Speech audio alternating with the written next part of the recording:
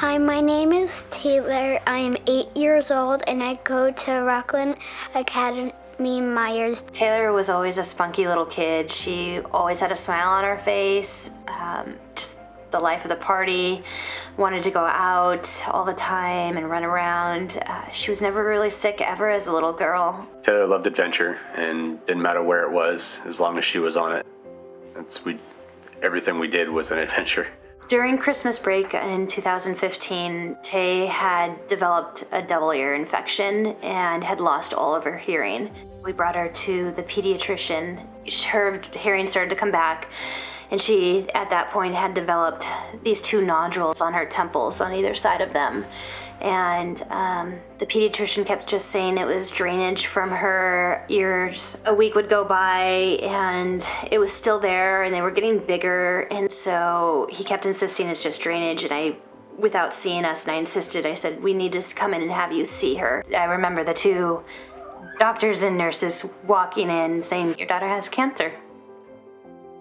I was diagnosed with T cell ALL.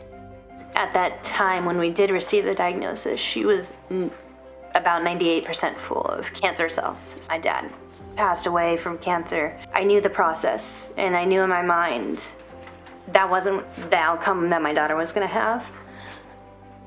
So I said right then and there, tell me where I need to go, what I need to do, because she's not going to have that.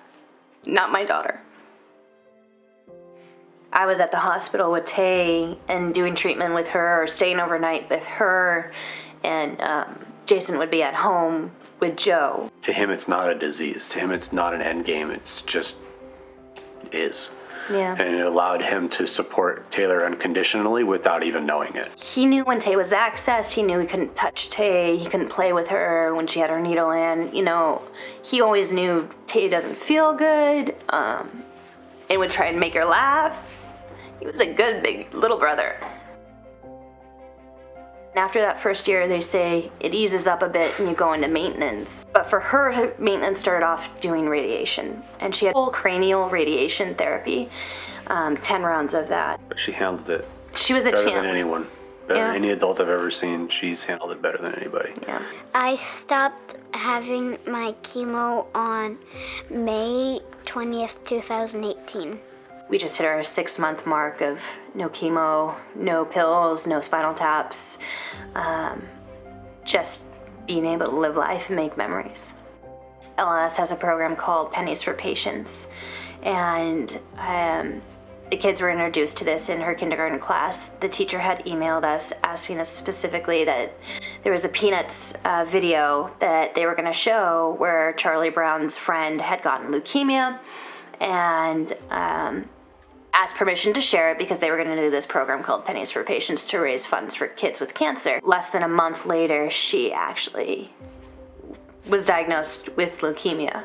Come to find out, at that time, she had leukemia in her body. So that was our introduction to LLS.